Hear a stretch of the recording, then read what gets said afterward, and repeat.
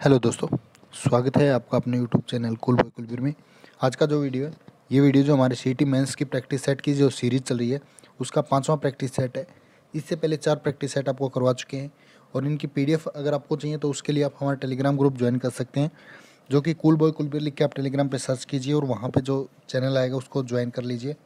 या फिर description box में लिंक भी दे दिया गया है, ठीक है? तो ज़्यादा समय आपका ख़राब नहीं करेंगे वीडियो आपको काफ़ी पसंद आ रहे हैं, जो पहले वाले हमने डाले हैं। नए पैटर्न के ऊपर आधारित हैं ये वीडियो, ठीक है? चाहे आप मेंस सी टी मेंस की तैयारी करें चाहे ग्रुप डी एग्ज़ाम की तो उसके लिए काफ़ी इंपॉर्टेंट होने वाले हैं दोस्तों। वीडियो को लास्ट तक ज़रूर देखा करें, ठीक है? और जिसने भी चैनल को सब्सक्राइब नहीं किया, वो जल्दी से चैनल के साथ जुड़ जाए। साथ में नोटिफिकेशन रिंग का ऑप्शन जो आता है, उस पर भी क्लिक कर ले। इससे क्या होगा, जब भी वीडियो डालेंगे, उसका नोटिफिकेशन आपको मिलेगा और आप उस वीडियो को आसानी से देख पाएँगे दोस्तों, ठीक है? तो जिसको भी कोई इश्यू हो तो आप यहाँ पे हमें व्हाट्सअप कर सकते हैं। अदरवाइज़ ये कूल बॉय कुल भी लिख के आप टेलीग्राम पे सर्च कीजिए, हमारा चैनल आ जाएगा और यूट्यूब पे भी ये चैनल को सब्सक्राइब कर लें। ज़्यादा समय आपका ख़राब नहीं कर देंगे। पहला क्वेश्चन देखिए, अशोक के धम का मूल संदेश क्या है? तो इसका जो मूल संदेश था, वो क्या था? देखिए देखिए, जो प्रश्नोक्त जो सभी संदेश हैं, अशोक के धम में निहित हैं, ठीक है? तो देखिए, राजा के प्रति वफादारी, शांति और अहिंसा, बड़ों का सम्मान, धार्मिक सहनशीलता। ठीक है तो ऑप्शन हो जाएगा सभी। ठीक है? निम्नलिखित में से किसने राजपूताना की देसी रियासतों के साथ 1817-18 की अधीनस्थ संधि की बातचीत बातचीत की थी? तो ये किसने की थी? Charles Metcalfe. ठीक है? गवर्नर जनरल थे चार्ल्स मैटकोफ। राजपूतों की जो देसी रियासत थी, उनके साथ 1817-18 की जो अधीनस्थ संधि थी उसकी बातचीत की थी। उसके बाद सिंधु घाटी, चार प्राचीन शहरी सभ्यताओं का सबसे बड़ा घर था। इनमें से कौन सा नहीं है? तो देखिए, बात करें, सिंधु घाटी जो है, चार प्राचीन शहर, शहरी जो सभ्यता थी, उनका सबसे बड़ा घर था। इसमें श्रीलंका नहीं है दोस्तों। ठीक है, कौन सा ऑप्शन नहीं है? श्रीलंका नहीं है। बाकी ऑप्शन जो बच गए, मिस्र, मेसोपोटामिया, भारत, तीनों की तीनों इसमें शामिल है। भारत की मुख्य भूमि का दक्षिणतम अक्षांश क्या है? तो ये हो जाएगा आपका ऑप्शन डी, आठ डिग्री चार एन नॉर्थ अक्षांश, ठीक है? राज्यसभा का पदेन सभापति कौन होता है? ये क्वेश्चन आपके लिए है, क्योंकि अगर आपने इससे पहले वाला हमारा वीडियो देखा होगा तो आप इस क्वेश्चन का आसानी से आंसर दे देंगे, ठीक है? इससे हमें पता लग जाएगा, आपने पहले वाला वीडियो देखा या नहीं देखा। किसी राज्य में प्रथम राष्ट्रपति शासन की अवधि क्या है? जो पहला राष्ट्रपति शासन लगेगा। उसकी जो अवधि है, वो छः महीने की होती है दोस्तों। बी ऑप्शन हो जाएगा, ठीक है? और जो राष्ट्रपति शासन है, इसका प्रावधान कौन से अनुच्छेद में है? एक तो तीन सौ छप्पन में है और दूसरा है तीन सौ पैंसठ में दोस्तों। ये इंपॉर्टेंट है, याद रखने होते हैं, ठीक है? मुद्रास्फीति के समय के दौरान कर की दरों में निम्नलिखित में से क्या हुआ? जब मुद्रास्फीति होगी तो कर की जो दरें हैं, उनमें वृद्धि होगी दोस्तों, ठीक है? ए ऑप्शन हो जाएगा। उसके बाद नेक्स्ट है। विपणन मिश्र परिवर्तनशील के निम्न चार नियंत्रक में से कौन सा उत्पाद की भौतिक विशेषताएँ और उस उत्पाद के प्रयोग से संबंधित लाभ के साथ व्यवहार करता है? तो कौन सा हो जाएगा? ऑप्शन ए हो जाएगा प्रोडक्ट मिक्स उत्पाद मिश्रण, ठीक है? पदार्थ के द्वारा उष्मा के स्थानांतरण की प्रक्रिया जो कणों के बिना वास्तविक गतिमान हुए हो, कहलाती है। क्या कहलाएगी? चालन, ठीक है? उस निम्न में से किस यौगिक में उच्च स्तर कौंथनांक है? तो ये होता है दोस्तों एथेनॉल में, ठीक है? एथेनॉल जो यौगिक होता है, इसमें उच्च स्तर क्या होता है? कौंथनांक पाया जाता है? एथेनॉल जो है वो एक एल्कोहल है, ये भी याद रखना, ठीक है? इसका उपयोग जो है वो वार्निश पॉलिश दवाओं के घोल क्लोरोफॉर्म पारदर्शक और साबुन, इनमें किया जाता है, ठीक है? उसके बाद है, प्राकृतिक विघ्नाभिक तत्वों का परमाणु क्रमांक होता है। कितना होता है? बयासी से अधिक। किस चिकित्सक ने दर्शाया कि रक्त को शरीर में हृदय द्वारा पंप किया जाता है? किसने दर्शाया था? ये दर्शाया था विलियम हार्वे ने। ठीक है? और एडवर्ड जेनर जो इन्होंने चेचक के टिक्के जो है उसका आविष्कार किया था, और जो विलियम ओसलर हैं, इनको आधुनिक चिकित्सा का पिता कहते हैं। ठीक है? और जो एलिजाबेथ ब्लैकवेल हैं, ये संयुक्त राज्य अमेरिका से चिकित्सा के क्षेत्र में स्नातक की उपाधि लेने वाली पहली महिला थी, ठीक है? ठीक है। उसके बाद पीडीएफ पीडीएफ की क्या फुल फॉर्म होगी पीडीएफ की हुई portable document format C option हो जाएगा, ठीक है? बार बार जो हम कहते हैं कि पीडीएफ डाउनलोड कर लीजिए टेलीग्राम से तो पीडीएफ उसकी फुल फॉर्म होती है पोर्टेबल डॉक्यूमेंट फॉर्मेट उसके बाद कार्य विश्लेषण की तैयारी को शामिल करते हैं। कौन शामिल करते हैं? कैश ठीक है सी ऑप्शन हो जाएगा इसका। कैश जो है कि मेमोरी है, जिसे सेमीकंडक्टर मेमोरी भी कहते हैं, ठीक है? जो प्रोग्राम एवं रैम के बीच स्थापित की जाती है। उसके बाद नेक्स्ट है।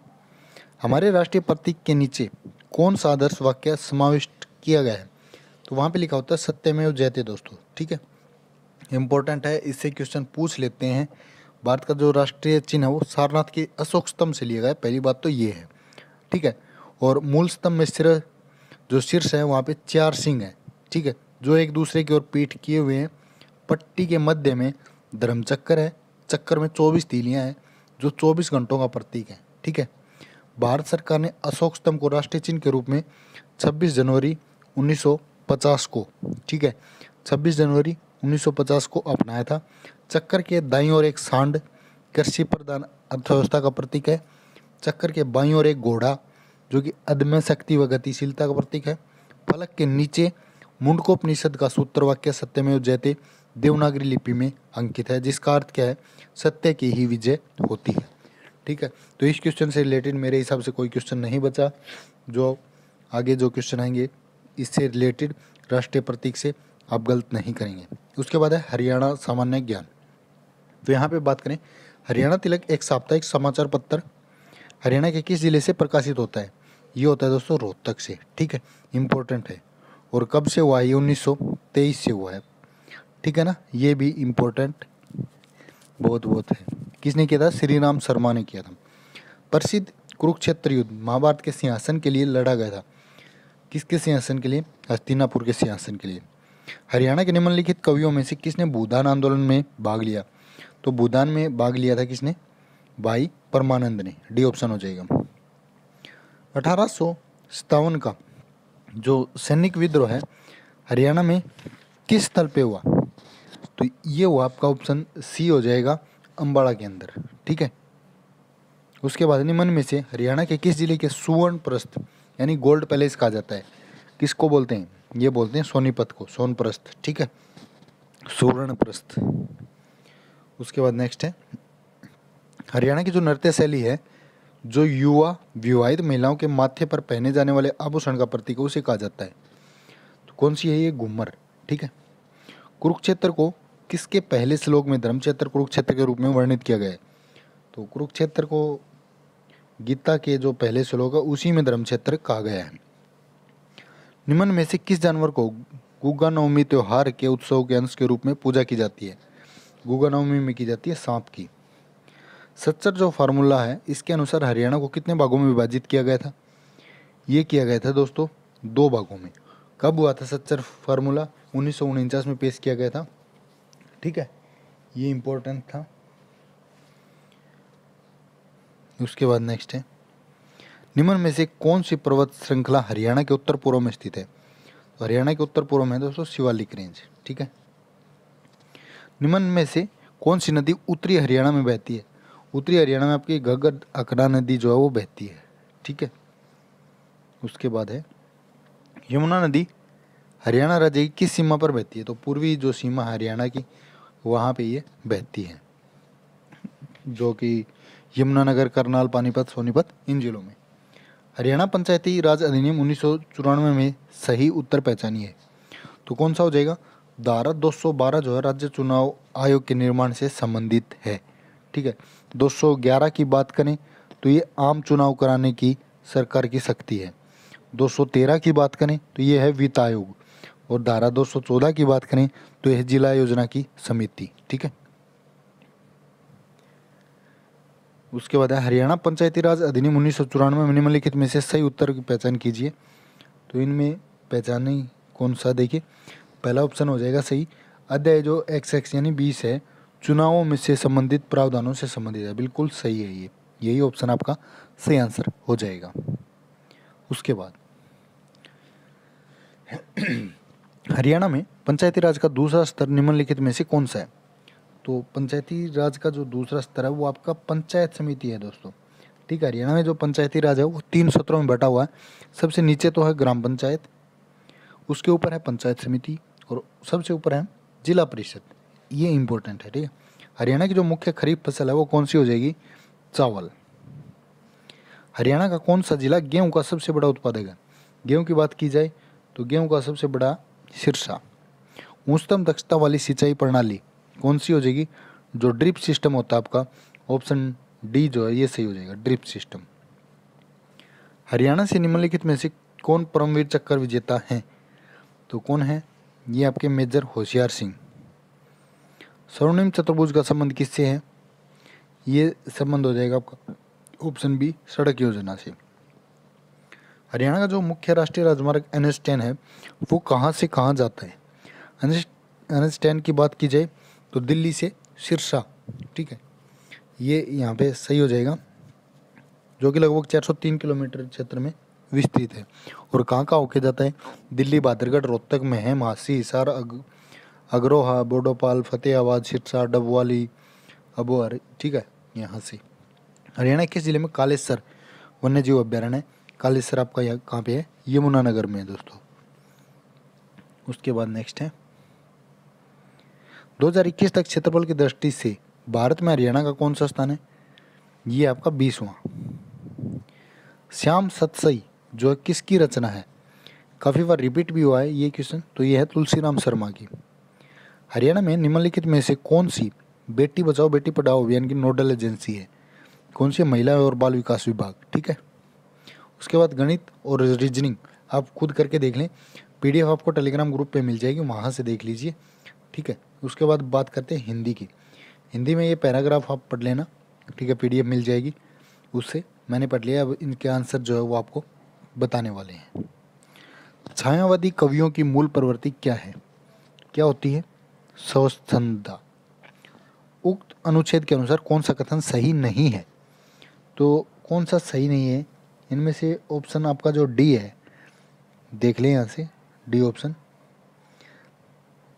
अंग्रेज़ी या किसी पाश्चात्य साहित्य अथवा बंग साहित्य की वर्तमान स्थिति की कुछ भी जानकारी रखने वाले तो सुनते ही समझ जाएँगे कि यह शब्द मिस्टिसिज्म के लिए नहीं आया है, ठीक है?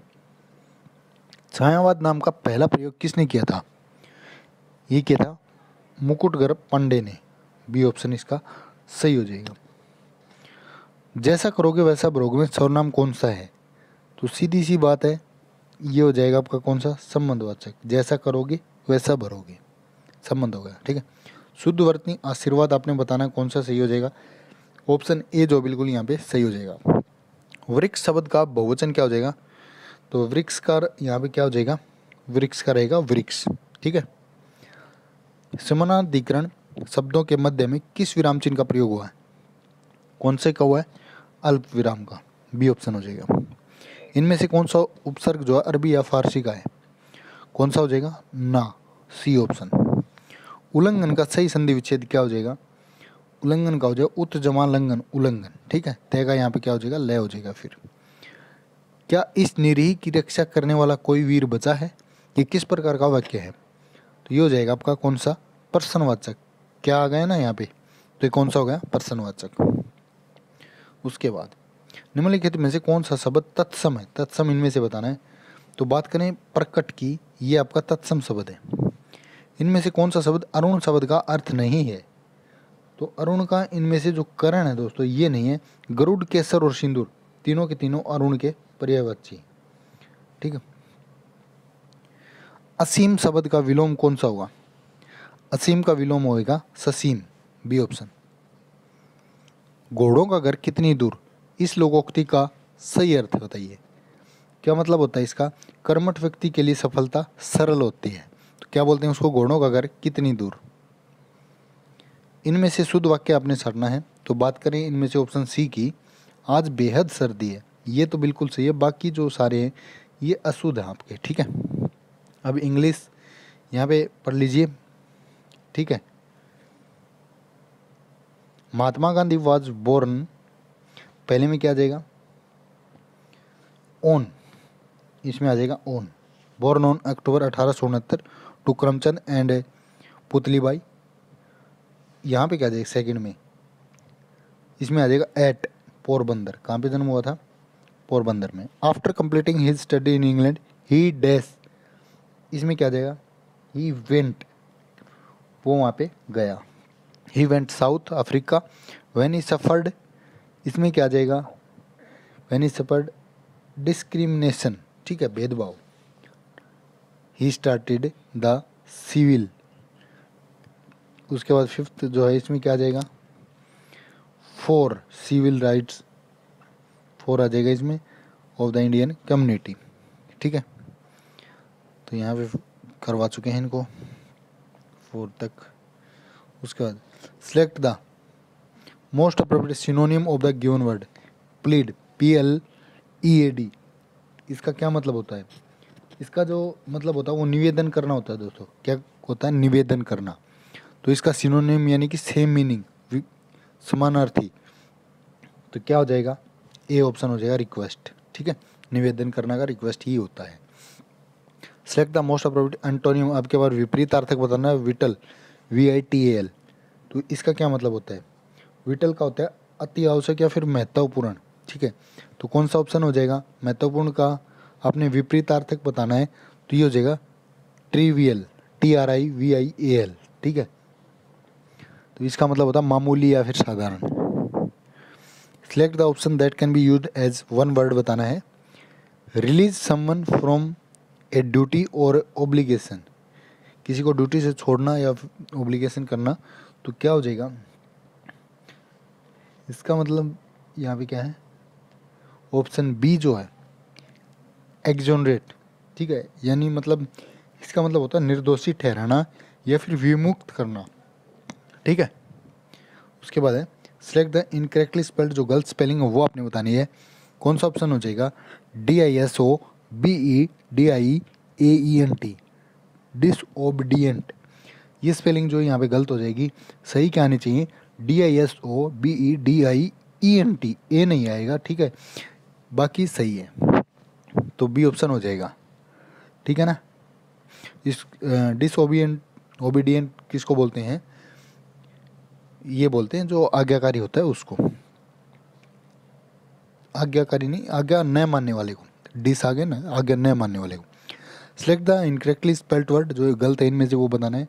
तो बी ऑप्शन की बात करें T A double C L tackle is misspelt word है। इसकी सही स्पेलिंग होती है टी ए सी के एल ई ठीक है? T A C L E tackle इसका मतलब होता है कोई निपटारा करना है कोई सुलझाना, काबू में करना, ठीक है? उसके बाद है the following sentence has been split into four segments तो ग्रामेटिकल जो एरर है, वो आपने बताना है। Do you know I a number of people prefer to shop online nowadays तो इसमें कौन सा गलत हो जाएगा? बी ऑप्शन देखिए, यहाँ पे क्या हो जाएगा आपका? प्रेफर टू शॉप इसकी जगह पे आना चाहिए प्रेफर प्रेफर्स दे रखा है इन्होंने प्रेफर्स नहीं आएगा प्रेफर आएगा ओनली प्रेफर टू शॉप उसके बाद नेक्स्ट है। यहाँ पे अपने फिल इन द ब्लैंक है, उसमें क्या आएगा? He run towards his mother dash and hugged her तो इसमें आ जाएगा गेली जी ए आई एल वाई ठीक है? गेली होता है प्रसन्नतापूर्वक या अभिलाषापूर्वक। गले से लगाया। Select the option that express the passive voice बताना है यहाँ पे। Arvind delivered the packet at the address given by Asha तो इसका क्या जाएगा? The packet was delivered by Arvind at the address given by Asha B option हो जाएगा। उसके बाद है select the correct indirect form of the given sentence कौन सी हो जाएगी? Mother said to me enjoy your vacation with your friends तो इसका आ जाएगा option D mother told me to enjoy my vacation with my friends ठीक है डी ऑप्शन हो जाएगा। लास्ट क्वेश्चन आज का। Sentence of a paragraph are given below तो यहाँ पे जो मीनिंगफुल एंड कोरेंट पैराग्राफ है तो इसका क्या आ जाएगा ऑप्शन इसको अपने हिसाब से लगाना है। पहले कौन सा आएगा, फिर कौन सा आएगा? ठीक है, उसके हिसाब से। तो सही क्रम हो जाएगा इसका ऑप्शन कौन सा? यहाँ पे बात करें तो ऑप्शन बी हो जाएगा आपका। ठीक है? B sorry D option B A D C ठीक है? सबसे पहले बी फिर ए फिर डी और फिर सी ठीक है इम्पोर्टेंट है। ये था आज का वीडियो इसकी जो पीडीएफ है, आपको टेलीग्राम ग्रुप पे मिल जाएगी। तो जिसने भी चैनल को सब्सक्राइब नहीं किया, जल्दी से सब्सक्राइब कर ले चैनल को और नोटिफिकेशन रिंग का ऑप्शन भी ज़रूर क्लिक कर ले और सभी दोस्तों के साथ इस वीडियो को शेयर भी करें। धन्यवाद।